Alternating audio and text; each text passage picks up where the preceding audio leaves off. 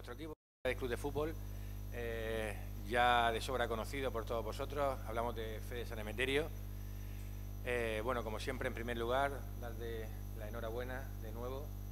Y bueno, Fede firma por nosotros por las cuatro próximas temporadas. Eh, es un jugador que conocemos de sobra, ya estuvo con nosotros la pasada temporada cedido del, del Real Valladolid los últimos seis meses con un gran rendimiento, jugó 13 partidos, donde fue una pieza importante en el centro del campo, que, donde finalmente pudimos conseguir la, permanencia. Bueno, Fede es un jugador que siempre hemos tenido durante el mercado eh, valorándolo, estando en contacto continuo con él, sabiendo que él tenía que resolver una situación en su antiguo club. Bueno, finalmente se ha podido dar el caso y, bueno, eh, era un jugador que teníamos tanto nosotros, la dirección deportiva, como el cuerpo técnico, claro, que queríamos incorporar para ayudar al equipo y cuando se han podido dar la, situación, se ha dado en que todo se ponga en el mismo lado, pues bueno, hemos conseguido su fichaje, ¿no?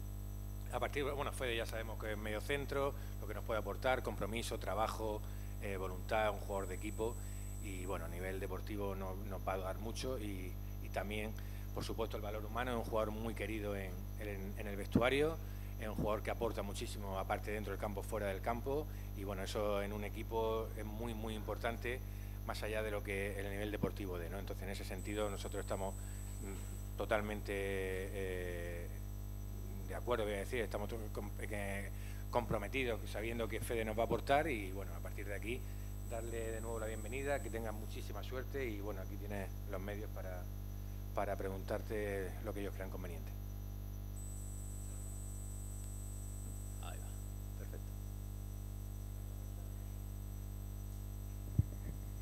Hola Fede, bienvenido nuevamente. Eh, ¿Qué te movió a dar este paso? Bueno, ya la temporada pasada llegaste, mm, encajaste dentro del, grupo y dentro del equipo también perfectamente.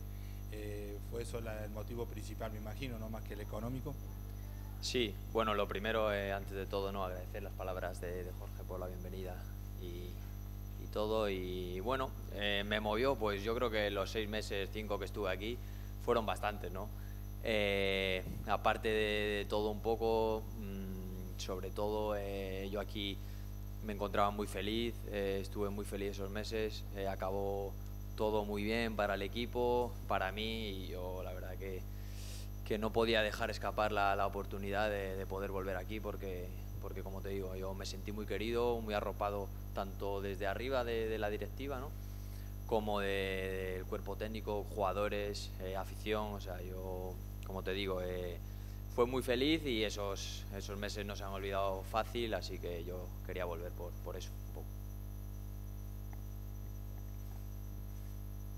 Hola Fede, bienvenido de nuevo.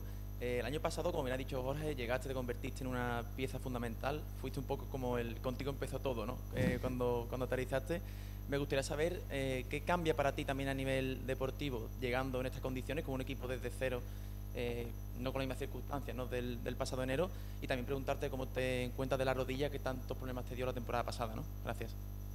Bueno, sí, eh, como tú dices, la llegada es totalmente diferente, ¿no? Yo llegué en mitad de una temporada con lo que conlleva, al final, pues eso, era diferente, el equipo ya estaba armado. Entonces ahora llego nuevo en, verano, el equipo pues justo ahora va a empezar la liga, entonces la temporada eh, yo personalmente veo una temporada ilusionante por delante, ¿no? Eh, el equipo le veo muy bien y, como te digo, es totalmente diferente la llegada por, eh, la época en la que estamos ahora que, vamos a empezar, ¿no? Y por otra parte de la rodilla, pues la verdad que bien, me encuentro muy bien, con buenas sensaciones, es verdad que que el año pasado al final pues eh, arrastré problemas, ¿no? Eh, me impidió muchas veces poder estar con el equipo, pero, pero ahora he llegado eh, a tope, estoy entrenando con el equipo, o sea que la verdad que, que me encuentro cada vez mejor.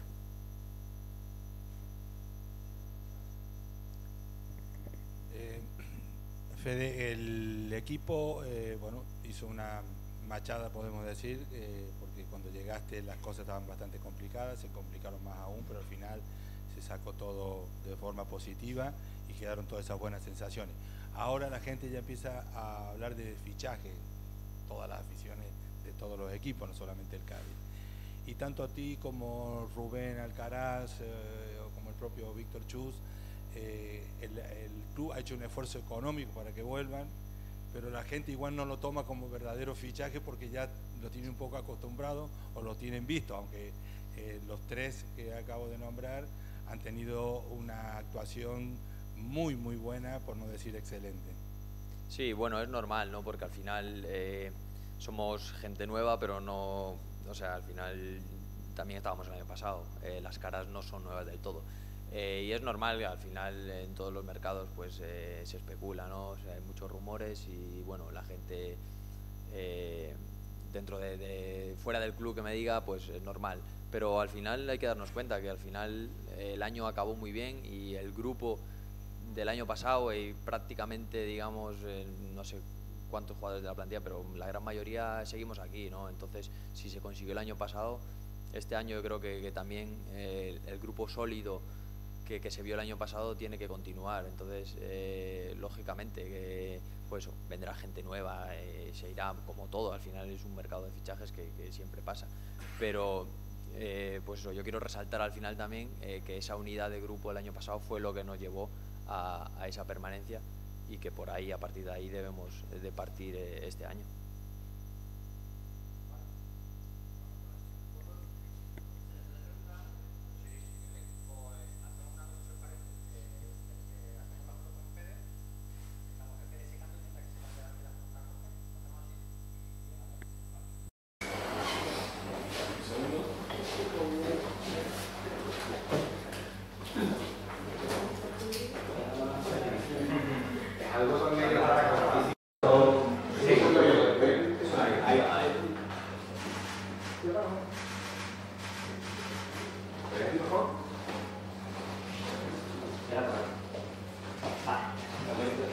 por la buena la camiseta,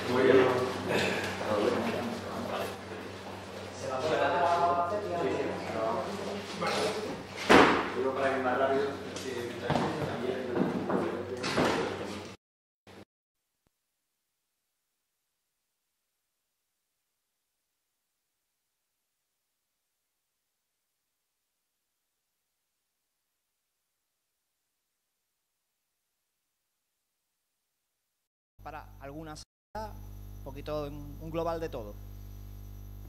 Bueno, eh, estar en contacto eh, diario y directo todos los días con el cuerpo técnico, con el míster. Bueno, quedan 20 días de mercado. Eh, sabemos claramente el míster en lo que nos ha pedido de cara a final de mercado él nos solicita un par de jugadores en dos demarcaciones para, que él cree que podemos reforzar y en ese sentido estamos trabajando la dirección deportiva. Quiere un par de jugadores en dos posiciones. Sabemos que, el mercado todavía quedan 20 días, hay tiempo y bueno, lo que no queremos hacer es precipitarnos, firmar por firmar y en ese sentido estamos trabajando en ese, por esa línea. En cuanto a las salidas, bueno, también hay un par de salidas todavía que tenemos que hacer y bueno, queda mucho tiempo y, más o menos trabajamos sobre un par de incorporaciones siempre y cuando creamos que mejore lo que tenemos, es lo que el míster nos ha pedido y en un par de salidas todavía puede cambiar eh, dos, tres salidas o una o dos salidas dependiendo de, las incorporaciones.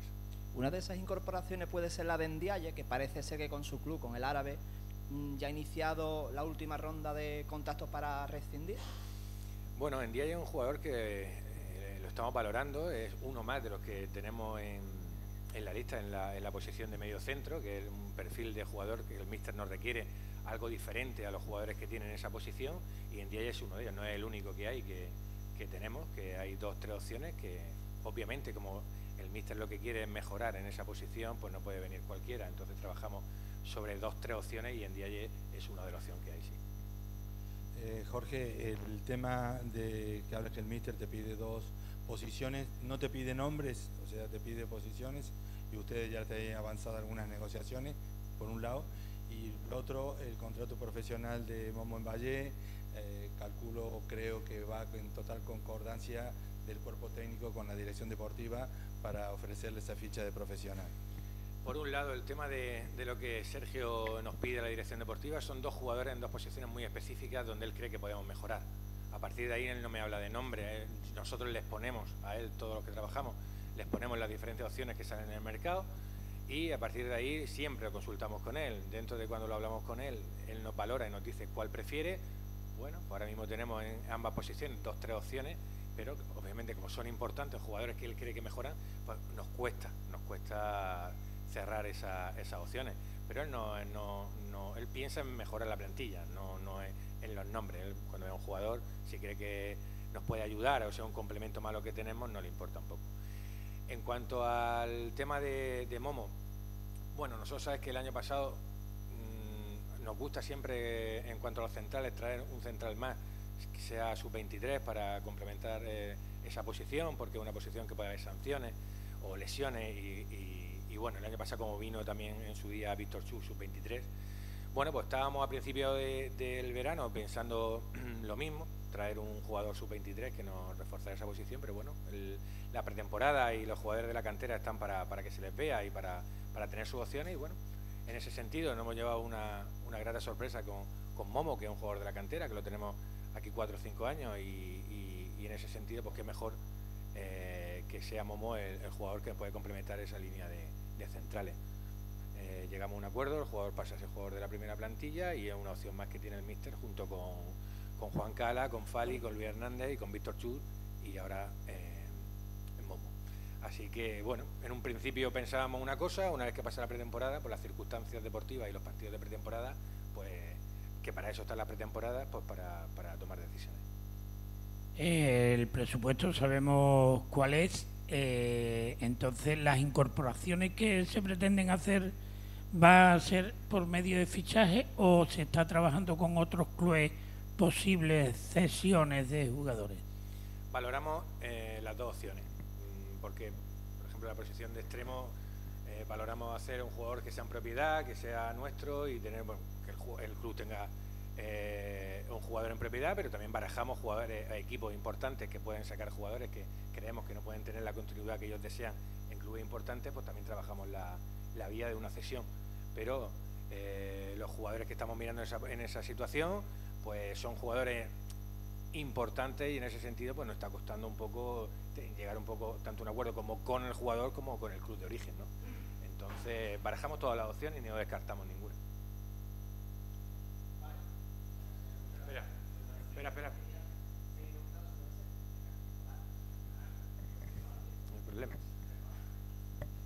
Al igual que el caso de Momo Jorge, hay otros jugadores en el Cadive que están en situación similar. Uno de ellos es Quique Carrasco. ¿Qué es, lo, ¿Qué es lo que va a pasar con él? ¿Se va a incorporar al primer equipo? ¿Se va a renovar? ¿Va a ir cedido?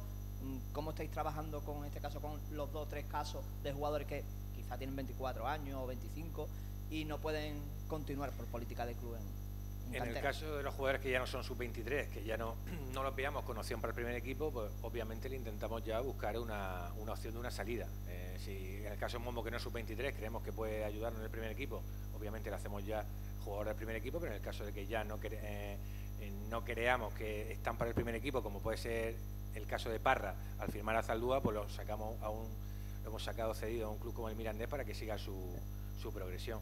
Los demás eh, casos, como me habla de Kiki Carrasco, en ese sentido, si no tienen cabida en el primer equipo, pues intentaremos buscar una cesión o bien una salida. Y la última pregunta por mi parte, ¿Víctor Chut va a tener en este caso licencia con Cádiz B, Cádiz, Mirandilla o va a tener licencia con primer equipo? Porque no aparece inscrito en, la liga. Precisamente esta mañana estábamos hablando de ese caso, dependiendo de, las incorporaciones que hayan o no, o no hayan, puede tener eh, dorsal eh, ahora mismo más posible del filial que del primer equipo pero eso se hace más un poco en, sintonía con las licencias que tenemos, con las que nos quedan libres, con las posibles incorporaciones. Entonces, ahora mismo, a día de hoy, teniendo un partido el domingo, seguramente tenga que tener licencia del filial. Correcto. Gracias.